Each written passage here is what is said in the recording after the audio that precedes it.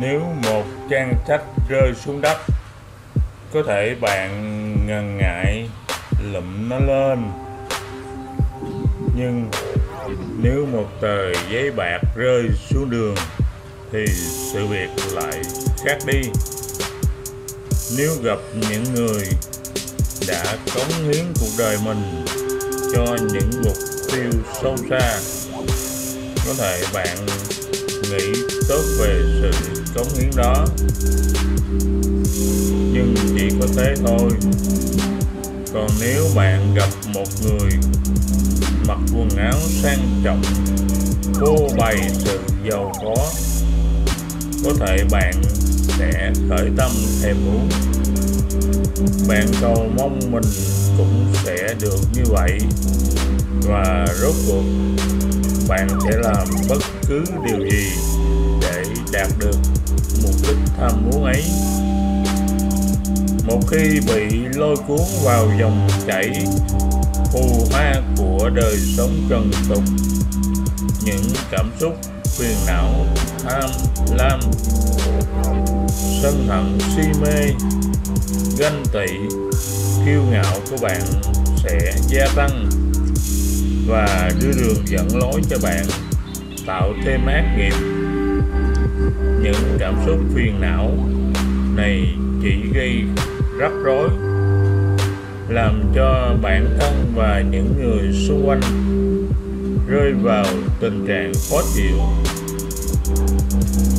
Dù có thể bạn đã biết chút ít về việc tu tập, nhưng bạn vẫn tích lũy thêm của cải vật chất và liên can với nhiều người hơn.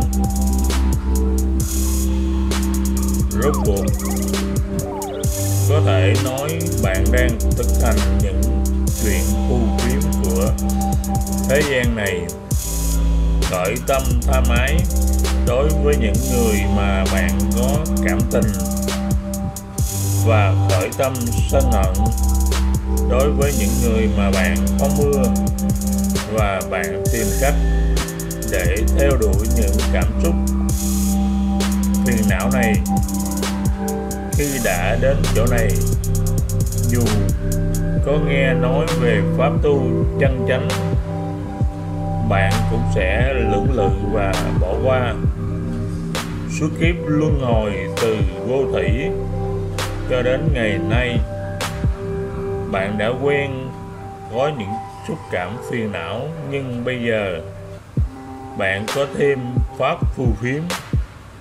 Như vậy, tình trạng trở nên tệ hại hơn, làm cho bạn xa cách với những gì thực sự ích lợi hơn. Bị lôi kéo bởi sự tham muốn bạn sẽ không bao giờ tìm thấy sự hài lòng. Bạn không làm cho người khác hạnh phúc. Và chắc chắn không làm cho chính mình hạnh phúc. Khi trở nên vị kỷ hơn với những cái của mình, thì bất cứ người nào can thiệp vào cũng tức khắc trở nên mục tiêu giận dữ của bạn. Dù bạn xem trọng những người bạn thân của mình và những người thân của mình, nhưng họ không thể giúp gì cho bạn.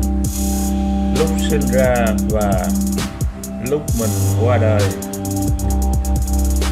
bạn ra đời một mình và rồi sẽ ra đi một mình nếu vào ngày bạn qua đời, một người bạn có thể đi cùng thì sự bám giữ vào bạn bè có giá trị, nhưng không thể có chuyện đó. Khi bạn tái sanh trong một hoàn cảnh hoàn toàn xa lạ, nếu những người bạn trong kiếp trước có thể giúp đỡ một điều gì đó thì cũng là một sự liên hệ có giá trị. Nhưng sự kiện này không thể xảy ra. Vậy mà trong khoảng thời gian giữa lúc ra đời và lúc chết, kéo dài mấy chục năm, những người bạn đó là bạn của mình, anh chị em của mình, sự chấp thủ không đúng chỗ này không đưa đến lợi ích gì cả, mà chỉ tạo thêm tham sân si mà thôi.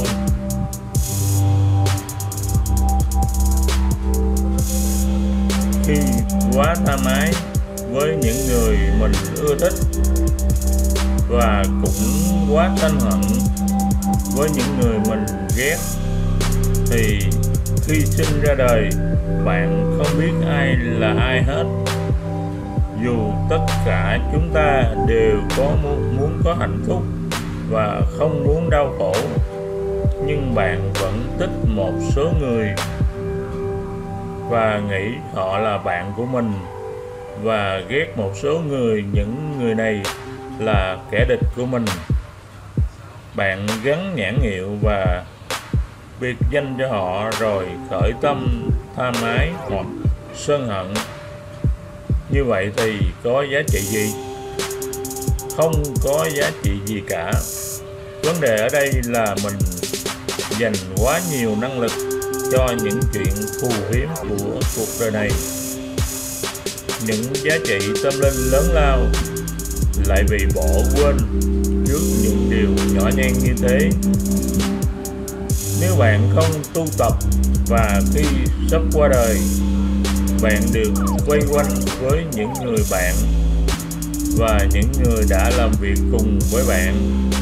Thay vì có một người nào đó nhắc nhở bạn về việc tu tập tâm linh, đạo đức, rõ ràng chính bạn đã mang lại sự rắc rối cho mình. Sự sai lầm này của bạn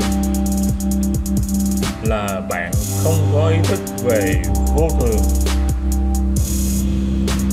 lợi ích của tỉnh giác về giáo lý vô thường. Tuy nhiên, nếu bạn phải đợi đến giờ phút cuối mới thấm thía sự thật rằng mình sẽ chết và bạn nhận định một cách thực tế tình trạng của mình ngay bây giờ, bạn sẽ không bị chi phối bằng những mục tiêu phù phiếm nữa, bạn sẽ không lơ đễnh với những mục tiêu quan trọng lâu dài. Bạn nên quyết định ngay từ đầu là mình sẽ chết. Và hãy tìm hiểu những điều giá trị thực sự. Nếu ghi nhớ là đời sống trôi qua rất nhanh, bạn sẽ trân quý thời gian và sẽ làm những gì có giá trị. Với ý thức mạnh mẽ về sự chết, tất yếu sẽ đến với mình. Bạn sẽ thấy mình cần phải tu tập, chuyển hóa tâm trí và không lãng phí thời giờ vào những thú vui từ ăn uống đến chuyện phím về chiến tranh của tình lãng mạn và đời tư của người khác. Hết thảy chúng sanh đều muốn mình hạnh phúc và không muốn khổ đau. Chúng ta dùng nhiều kỹ thuật khác nhau để giải trừ những đau khổ lớn cũng như nhỏ. Loại người chúng ta biết thực hành những phương pháp tu tập sớm trong đời của mình để tránh đau khổ về sau. Trong cuộc đời, những người có tu và những người không tu đều tìm cách giảm bớt những, một số nỗi khổ và giải trừ những nỗi khổ khác. Có khi còn dùng sự đau đớn nhỏ làm phương tiện vượt qua đau khổ lớn và đạt được một loại hạnh phúc nào đó. Mọi người đều cố gắng loại trừ đau đớn bên ngoài, nhưng có một phương pháp khác để giải trừ đau khổ ở mức sâu xa hơn. Nhắm tới việc giảm thiểu hay diệt trừ đau khổ trong những kiếp tương lai và hơn nữa, giải trừ tất cả mọi hình thức đau khổ cho chính mình cũng như cho chúng sinh. Phương pháp này gọi là tu tập tâm linh. Những phương pháp này bao gồm sự điều chỉnh thái độ. Như vậy về căn bản, tu tập có nghĩa là điều chỉnh tốt ý nghĩ của mình trong tiếng Sanskrit, tu tập tâm linh được gọi là Rama, nghĩa là cái nắm giữ. Điều này có nghĩa là do điều chỉnh những thái độ sống, bạn thoát khỏi những một mức đau khổ. Và như vậy được giữ lại khỏi sự đau khổ đó. Việc tu tập tâm linh này có công năng bảo vệ bản thân mình và người khác. Khỏi rơi vào hố sâu của sinh tử khổ đau. Từ việc đầu tiên hiểu tình trạng của mình trong vòng luân hồi và tìm cách giữ mình khỏi đau khổ, bạn truyền đạt sự chứng ngộ của mình cho người khác và phát khởi lòng từ bi tức là nguyện cứu giúp chúng sinh thoát khổ. Dù chỉ là một sinh linh, bạn có lý do chính đáng để chọn con đường giúp đỡ nhiều sinh linh khác. Nhưng cũng có một điều khác. Đó là do chú tâm đến lợi ích của người khác, chính bạn sẽ cảm thấy hạnh phúc hơn. Có lòng từ bi bạn sẽ bớt sự đau khổ của chính mình và gia tăng sức mạnh nội tâm. Để tôi kể nghe, kể cho bạn nghe về một thí dụ nhỏ.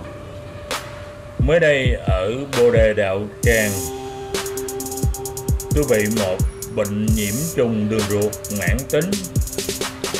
Trên đường đến bệnh viện, tôi cảm thấy rất đau và đổ nhiều mồ hôi. Xe của chúng tôi đi qua khu vực núi Kênh Kênh tức là núi Linh Thú và ở vùng này dân làng rất nghèo. Nói chung là Biha là một tiểu bang nghèo. Nhưng nghèo nhất là vùng này.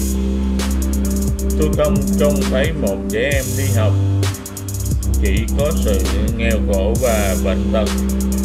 Tôi nhớ rất rõ một bé trai bị bại liệt, đeo những thanh kẹp kim loại rỉ sét ở hai chân và hai tay chống nạn. Rõ ràng là không có ai trong em bé, tôi rất xúc động. Một chỗ khác, tôi thấy có một ông già ở một quán trà bên đường. Chị mặc một mảnh vải bẩn té xuống đất và nằm luôn ở đó, chứ không có ai giúp đỡ đứng dậy. Sau đó tôi được đưa vào bệnh viện. Tôi cứ nghĩ ngợi, tôi cứ nghĩ ngợi về những gì mình trông thấy, suy ngẫm rằng thật đáng buồn khi ở đây, tôi được nhiều người săn tóc. Còn những người tốn cổ ngoài kia thì không có ai. Tôi nghĩ đến điều đó và quên đi nỗi đau của mình. Dù mồ hôi đang đổ ra, tôi nghĩ đến những người khác. Như vậy, dù thể xác của tôi chịu nhiều đau khổ và tôi không thể ngủ được. Tâm trí của tôi đã không lo sợ. Nếu tôi đã chú tâm vào bệnh tật của mình, thì chỉ làm cho tình trạng tệ hại hơn mà thôi. Đây là một ví dụ từ kinh nghiệm nhỏ của bản thân tôi về thái độ tư vi có ích lợi cho cả bản thân, làm quên đi phần nào sự đau đớn thể xác của mình, làm bớt lo sợ. Dù người khác không nhận được sự lợi ích trực tiếp, lòng từ bi giúp cho chúng ta có thêm sức mạnh và với sự can đảm đó, chúng ta sẽ an tĩnh nhẹ nhàng hơn khi tầm mắt mở rộng của chúng ta bao gồm cả sự thống khổ của vô số chúng sanh thì sự đau khổ của bản thân mình có vẻ quá bé nhỏ. Bản dịch từ Đức Đạt Lai Lạt Ma thứ 14